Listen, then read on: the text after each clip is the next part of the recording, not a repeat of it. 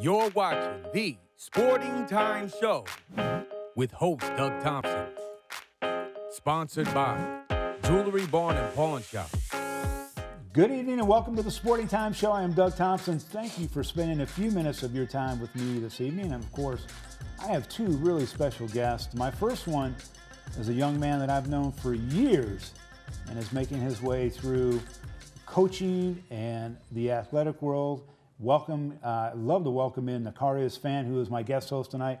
Nacarius, welcome to the show. Thank you, man. Thank you for having me. I Good to see that. you. You don't you don't age. I mean, you you look fantastic. What's going on? Thank my mother, I guess. thank, thank the man upstairs for that. Good I, appreciate. I appreciate that. Yeah. It is it is good to see you. I know that, um, and we're going to start. We're going to talk a little bit about everything that you're involved in with with youth sports and kids and. But I got to ask you because you know I, I so much enjoyed watching you play at the high school level, and then you went on to play at WKU. Uh, I'll never forget, and I know Paul Gray has a big spot in your heart. Yeah. But Paul Gray took over 2 million photos uh, on his camera uh, and when he was with us at the Sporting Times. And I always remember talking to Paul saying, Hey, what is your favorite photo? And he would say the photo that he took of you when you went down to Georgia and played uh, in that in that Seven on seven. in the seven on seven and the catch that you made. Does it seem like high school was so many years ago for you? It does when, and that's that's because of everything that I've necessarily been in through my life. Yeah. Um, with you know, from training, from life in general, from um, all the different stuff that I've had going on. It feels like you know it's been forever, but then again, and it feels like it's been you know yesterday. So um, you know, there's a mixture of you know time that's went by. You know, high school for me in, in football was, was such an important time. I mean, it was a, a, growth time for me. It was it gave me structure, um, and I did play college, but not at the level that you played. When you when you transitioned from high school to college football, for you, what was the biggest kind of like wow moment for you as far as transitioning? The difference between the, the high school and college. Biggest thing is I think the the speed of the game. Right, the speed of the game. When I was at Bowling Green High School, obviously I was surrounded by great players, uh, a great coaching staff with Coach Wallace and you know my position coach Tyler Siddons and all those different guys who gave me the knowledge. You know, so I was there mentally and mentally prepared as far as knowing the game of football. But when it came to the strength, when it came to the speed, you know, that's what was a big jump. I remember I went to college at 167. I was a senior at high school at 167. Uh, my summer going to WKU, I put on 16 pounds. Wow! And you still maintain the speed. And still maintain the speed. I think I was probably a little bit, probably a little bit more side to side quicker. And that's just because when I was in high school, I probably should have a little bit more. But um, you know, the weight room, you know, is it, it wasn't you know a main priority to me, and I had to learn that quick going to Yeah. the next level because guys were much bigger than me. Well, I mean, you you you had every accolade you could get in high school, Mr. Kentucky football. I mean, you had everything as far as what you earned in high school, and then of course the college career was really fun to watch you uh, return uh, kickoffs and, and punts and, and just you know the receiving things that you did. And one of the things about you and talking to you before the show, and, and knowing things about you, you're you're a you understand the game, right? You understand how it works offensively, where guys ought to be, how to get the most out of uh, the players that are on the team. And we got about 60 seconds left in this segment, but kind of tease us with a little bit of what you're doing now. What I do now is um, I run my own training business, and when I got done playing, after um, I didn't make it to the next level as I dreamed of my whole life, but I figured, you know what? Let me get back. Let me get back, and let's do it through sports. So what I do is I train athletes, and with the training, it's not you know just training. You know, you got maybe trainers that just train athletes. Right. What I try to allow them to be is an extra source when it comes to, um, you know, actually knowing the game, not just getting better and perfecting your craft, being the best version of yourself, but knowing the game. Um, also help kids with college recruitment. Um, I allow that to be a resource with me knowing many college coaches. Yeah. Why not reach out to them? Hey, I have a kid that you might be interested in. Um, so just different stuff like that, and you know, if anything I can help them with in life, you know, I try to give them the best advice that I can. Well, I know, and we're going to take a short break. When we come back, Coach McCoy will be here. But I know that you you've you're involved with a lot of different uh, youth organizations. You're you're the head coach and, and participating in a lot of different things. So when we come back after I talk to Coach McCoy, you and I will get into that. Let's take a short break. When we come back, we're going to transition over to a little basketball. We're going to take a short break. More of the Sporting Times right here on WNKY NBC 40. We'll be right back.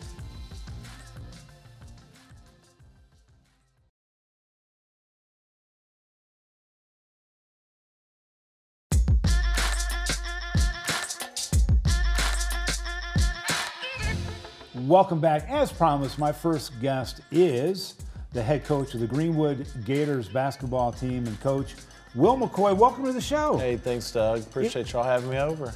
It's great having you in studio. We have been doing Zoom interviews for two years, and I am so thankful that we are beyond.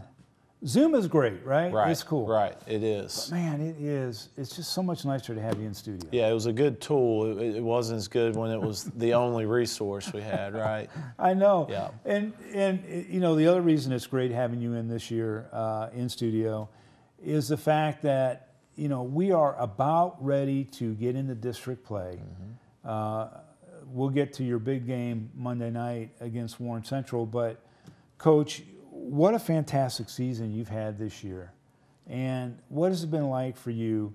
You knew going into the season you were going to have a, a very talented team. Now that we're towards the end of the regular season, what has it been like for you to be on the sidelines and watch these student athletes play? And it's been just an experience that I try to take day by day, not take any of it for granted, um, and just really enjoying every moment with these guys. You know, we're losing our eight seniors after this year that have meant so much to the Yeah. program, to the school, to myself personally. Um, and just to navigate the ups and downs with them this year has been just a great, great time, great run. Um, we hope to have a lot of basketball left to play, but wouldn't trade it for anything, man. It's been been the best year of coaching in terms of just all-around experience that I've ever gotten to be a part of. But even before these these scene, I mean, you you came into the 14th district and you you took the guys that you had that were young, uh, inexperienced, and, and you still had a competitive team. They were just young. Right, right. Um, and and now, like you said, you're you're you're as of this show, you were 20. You're 21 and three. What an amazing record! Uh, and you're you're just in the the middle of a great 14th district uh, battling, which is. It's hard for me to wrap my, my, my head around the fact that, man, this district is just crazy good. It's a bear, man. You know, we were talking at school this morning, my athletic director, Mr. Dillingham, myself. Um, we're currently ranked sixth in the state. Bowling Green's nine, Central's 12. and if you look around the rate, the rankings, there's not, I don't think there's another region with three teams within that top 12 to 15 range statewide. So it's always, it's always a challenge, but this year it's, you know, you could argue it's even a little more special than normal. Yeah, and, and you look, you know, you talk about the, the rankings, but when you look even at the, the fourth region and you look at the teams, the Metcalfe counties of the world, Messer and the Clinton counties, and they play in the 1A and the 2A, you know, uh, All A uh, championship and so forth. Man, Russell, those teams are really competitive. Oh yeah, I mean you've got your your your Barons, your Franklins, your teams that are always around. Um, You know, even the, the other teams in our district, you know, South and East can can beat anybody on any given night. Um, it, it it's just it's wide open really. You know, it's going to be an exciting exciting tournament at Diddle Arena that, that we hope to get to and be a part of. it's it, it's weird when you say that at Yeah. 21 and three. I know. But there there are some moving parts. Uh, does your sleep pattern change from the beginning of the season to right now? Uh, yeah, it does. It does. You know, I after after wins or losses, my sleep patterns definitely change. I'm up later than I should and earlier than I should be, but it's part of it. You know, you gotta love it. A little Yeah. extra caffeine as I came in here to the studio with today. Uh, but you know, it's just part of the challenge, and you've got to find got to find a way to put the time in and. I love it. You know, that's the thing about it is it's work, but I'm passionate about it. It's where it's it's I enjoy it. You know, and so when you're doing something you enjoy and love, I think that kind of radiates off you, and it doesn't feel as much like work as it does just something you enjoy doing. Well, and and I think you know, Coach, you, you are young. I mean, you're you're young.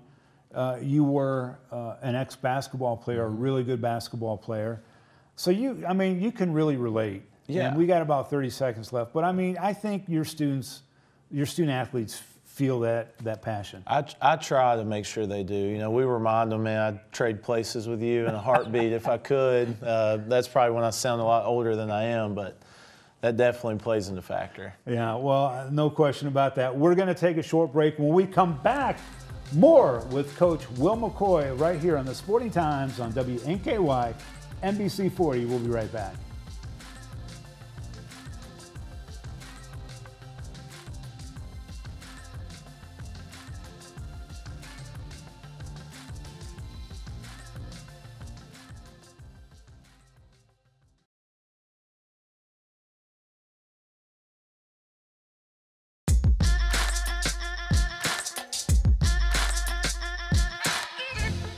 Welcome back to the show, Coach. I, I got to ask you. Um, you have two Stennetts on this team, and I think uh, I got to sit in the first year when they both were on team. Uh, did they start as freshmen? Uh, Cade, I think, got inserted in the starting lineup midway through his freshman year. Um, I know Brackton, his sophomore year, my first year at Greenwood, played quite a bit, especially about halfway through the year as well. So. So I had the opportunity to, I think, broadcast a couple of your games. Uh, Brent was out, but for whatever reason, I always thought they were brothers. Yeah. And then, for whatever reason, I transitioned to cousins. Yeah. But they're not even related, and they've got the exact same last name, spelled the same way, Not super common in the Bowling Green area. and they're both Brack- really good basketball Brackton's players. number 12, Cade's 21. You know, it's their moms worked uh, just a few doors down from each other at Briarwood for years. It's a, it's a crazy that that question gets asked a lot. Um, but as you said, the thing they have in common is they can both really play some hoop and, and have helped us win a lot of games the last last two two and a half three years. Well, not that you play the lottery, but I would imagine 12 and 21 numbers might play into those that. that 21 is my favorite number anyway, so 12, 12 I'll have to add in there as well, I guess. Talk a little bit first about Cade Stennett. I mean, he's one of the, the, the players, even before when he was a mm-hmm. sophomore. Yeah. You could see the way he plays, but we talked off camera. I always thought, I look at him and I think of, of a throwback, hard nosed player that just loves to dribble drive Yep. and, and create unbelievable shots. Yeah, he's he's he's so hard nosed, as you said, Doug. I mean, he's he's tough as nails. He's great teammate, great leader in our locker room. Um, you know, had a had an argument for a Mr. Basketball campaign going until his injury happened that he's working so hard to get back from. And Yeah. just uh, been honored to coach him the last three years. He's been the been the engine for us since I've taken over, and, and just he's a guy that that he's got big shoes to fill. That's Yeah. for sure. Yeah, well, he's, you know, uh, we've been doing it for 18 seasons, and, and you can go back and you can look at great players over those 18 seasons that we've been involved in.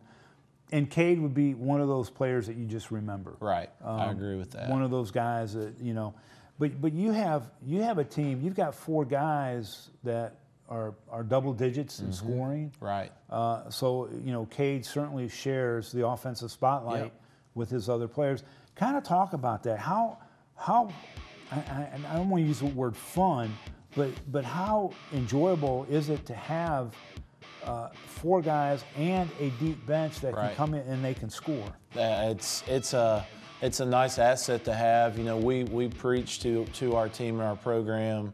Uh, it's it's one of the things going up in our locker room during the remodel is we over me. Um, another motto we have is is pass up good shots, get great shots, and when you have an Aaron Brown, a Hunter Raymer, a Mason Thornhill, a Luke Stansberry, a Jax Buchanan, a Lofton Howard, I, Yeah.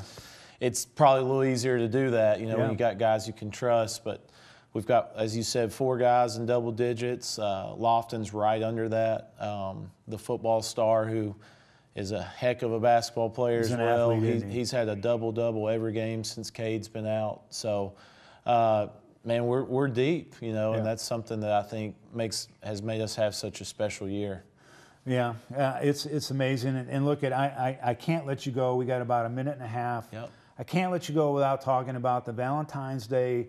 Uh, I'm not going to call it the sweetheart game, but Right. it is kind of a, for Right. the fans. Yeah. it's a huge game. It's a big one. Central Greenwood. It's a big one, and, and I'm going to start with we've we've got Warren East coming in Friday, and we're, we are not overlooking that one. They always play us tough, um, and we have to take care of business there. Monday won't mean near as much. Yeah. Um, so um, it's a big game, man. You know, Greenwood could claim the one seed for the first time in district history um, on Monday, uh, Friday and Monday, and we know over there they're going to be a really tough game for us. They played us super tight, obviously double overtime Yeah. classic at home, and It's great. uh, they've got a great team, a lot of depth as well. So excited for it, man. A lot on the line. It's going to be amazing. I think the Sporting Times is going to buy a big box of chocolates, and, Yep. and the winner will get that. There we go. So either you or Coach Unso, who knows? Right. And you don't look like you eat much chocolate, but Coach, Hey, I, li- I like some sweets. it- Doug. it's awesome to have you here. We have run out of time, but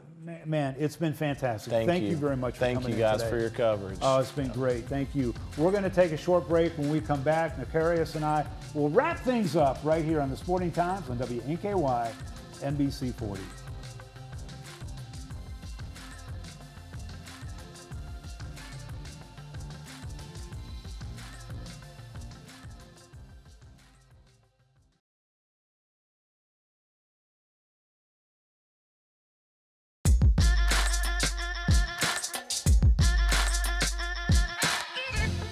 Welcome back. I want to thank Coach McCoy and, of course, my special guest host, Nacarius Fant. You have been offered a lot of coaching uh, positions as you as you begin to spread out. People learn that you're doing what you're doing. Talk a little bit about Team Kentucky and your involvement and what you're doing there. Well, how that came up is um, um, I'm familiar with uh, Bronson, uh, Brunson, who's there, basically the Kentucky Middle School uh, director. Uh, he's over all that Team Kentucky FBU stuff. Yep. He reached out to me and he uh, asked me if I'd be interested in maybe uh, coaching and being on, you know, the staff for um, sixth, seventh, or eighth grade, you know, position. Um, I mentioned the interest that I had in that, and um, the head coach, Coach Corey Taylor, who's out of Louisville, who also was another, you know, guy that has a personal training business. Yeah. Um, he was the head coach of the sixth grade team. He got me a call, and I remember like it was just yesterday. He asked me, he said, "Fant," he said, um, "I want you to come and be a part of the coaching staff that I have up here. I want you to coach the receivers, and I want you to help me with being an offensive coordinator." And you know, when he called me, I was kind of shocked, but not shocked because I just, you know, months ago talked to, you know, that director. And um, when he gave me the call, and I was like, yeah, I'd be honored to be able to, you know, coach this, or, in this with this organization. Like I said, I'm not a coach. You know, I just train athletes. So to But see, you know the game. but I know the game. But to see him, you know, take the interest and, um, you know, offer me a position as basically a personal trainer and being a guy who has a resume of playing, you know, I felt like, you know, I was, I was really, you know, glad to be getting that notice. Right. Um, so I was with them. The experience was great. The organization is great. Um, hopefully, every year from this point forward, I can be a part of the organization um, if offered. But um, we got kids from everywhere, Yeah. and it's good being a part of an organization like that because you know none of the kids. Yeah. And these kids are so young and don't really understand the game. So it's good to be able to teach and go through those practices on the weekends, get those friendships, those little bonds that you have with your players from all these different places. Yeah. And now that I'm done coaching after this first season, I still have parents from that team and you know kids who still reach out to me. Right. You know, so that definitely was a great experience for me, and um, you know that's a that's a great opportunity that I'm glad I could be a part of. So and they're sponges anyway, right? I mean, they want Right. to learn. They want to. How do you how do you give kids? How do you teach the young kids so that you don't over over teach them, right? That you don't get Right. too technical, but yet they learn. So when coming, I think to teaching the game and kids actually understanding, I think is at a certain age. You can't do it too young. You have to wait for I think a kid to get to a certain age to be able to actually talk football, as I say, Right. and for them to understand what you're saying. Yep. And I feel like at that certain age, whenever you do it and you apply that in them, which none of them really know the game to an extent, so it's good because they're all fresh. So whatever you're saying to them, as long as you're teaching them the right stuff, it's going to be installed in them and they have no flaws. Yeah. So, um, with teaching them, like I do with my training business, I started eight and nine years old. Um, I feel like that's a good age to where they can actually learn and understand the game of football. When I teach them, I teach them like I'm going to teach a high school or a college kid, you know, and it's going to take a little longer for them to process it. Yeah. But when we go through all the different stuff and I'm teaching them what this is, you know, I do it a little bit simplified for my younger kids and I do my high school and college kids what they're going to be up against when they go to college. Yeah. Um, and the part of that is I don't want to be training an athlete and he not know the game of football and he's just playing. Right. So when I'm able to teach my high school, my college kids, when you go into a meeting room with a coach, he understands that this is a smart football player. So that kind of adds more to what type of player that you are. Yeah. Um, so that's the type of resources that I give to all the kids that train with me, not just the high school and college kids. We've got about a minute left, so I got two quick questions for you.